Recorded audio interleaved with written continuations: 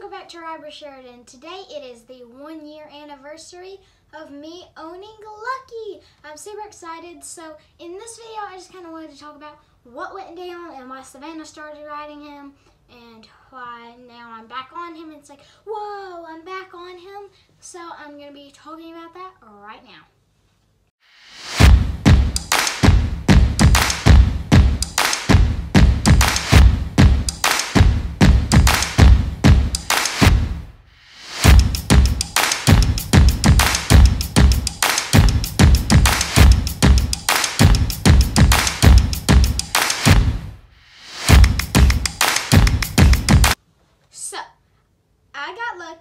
Exactly one year ago today on January 25th of 2020.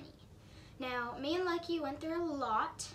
There was good, there was bad, and everything in between. So let's start in February, which is about the first month I had him. So we had some good runs. There'll be some clips all over the screen, I'm sure. So yeah, you know, we ran at some places. We went to Oklahoma, we went to Texas, you know, we went a couple places and you know, everything was great. And then we got to March. So in March, uh, we went to the Patriot. That was the big show we went to. It was the Patriot in Fort Worth, Texas. That was right when I was starting YouTube, so the video is kind of low quality, but we went and you know it was it was great. We had some okay runs. You know I was getting still getting to know Lucky and Hank actually made it back to the finals, so it was really a lot of fun. And then of course we all got quarantined. And you know through April and May I was just kind of riding at home.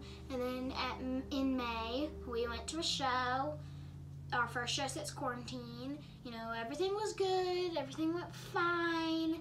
You know everything was good. And then in June his runs started getting a little bit like kind of shaky. You know he was missing some of the turns and you know kind of like wanting to leave a little earlier than I would like him to because normally he would just walk right down the alleyway. And he actually back in like I think it was like in May he had started getting some like rubs on his neck. And we all thought that it was for the cribbing collar that we had been keeping on him or he had been eating through the fence. So we just kind of you know put some medicine on it and just kind of was like whatever you know. I mean it's just like he's just been eating through the fence so at All American, he had some okay runs, a 15-0 and a 14-9. You know, he, it wasn't great though. It wasn't the best he could do. And then we got to July, and it was just really like he was running through my hands, and it just, we weren't having good runs. And then there was one run, which I never put on the YouTube channel, and I probably never will, that uh, he didn't want to go in the gate, and then we had a horrible run after that. I'm not going to go any more into detail because that was a terrible run. I'm sorry, my dogs are barking. But, um, you know, we went into that and we did it. And, you know, like, like I said, you know, he we had a terrible run after he had had some issues outside going into the pen. And then in August, you know, after it had been so bad in July, we started putting Savannah on him and we were like, okay, maybe Savannah can fix him. It's just the rider. He's just taking advantage of me. So then we got to, uh, he was still not doing right with Savannah.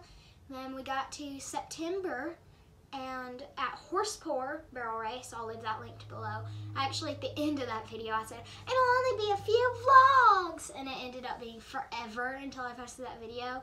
But turns out at um, Horse Poor, he actually got diagnosed. He had an EPM flare up. EPM is basically like it's a neurological disorder in horses. They get it from, you know, uh, possums and stuff like that will get in their food and contaminate it, and then that causes the horses to get sick.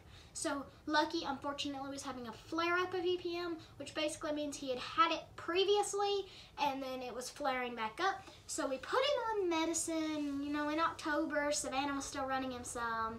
We got to November, and in November, uh, you know, I got to get back on him for the first time at the Thanksgiving CALBRA Rodeo. I literally I was almost crying when I came out because he was just so much better. It was just so much better. I was gonna cry. Like it was just, oh my gosh. It was just incredible. And so then in December, we actually went to Junior World Finals, which is gonna is posted. Uh, check that out. It, you know, we he didn't actually get to run any of that trip, but I'll leave Junior Finals link below. But he was there. He did come as a backup horse, and then here we are in January. I ran him at the CALBRA Rodeo, and we had a 16.6 and a 16.5, and it was awesome, super exciting. And here we are. We're on the anniversary of one year with Lucky. So that's the explanation. I'm going to let y'all watch some clips of runs and just pictures of a cute little collage. And then I'll wrap this video up.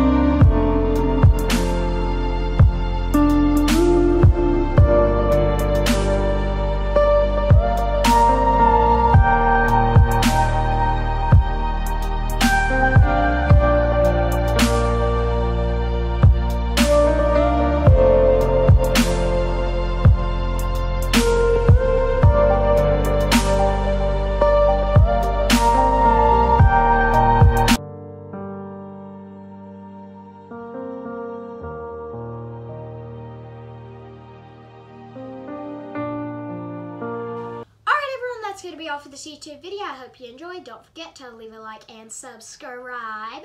I'm so happy that I have Lucky in my life. He's such a good horse. I love him to pieces, even if he does have a little bit of medical issues. We are not going to let it get as bad as it did. We're going to manage it, and I'm so happy to have him back. So I hope you had fun on your ride with Sheridan. Remember, ride with your heart, and I will see you guys next time. Bye!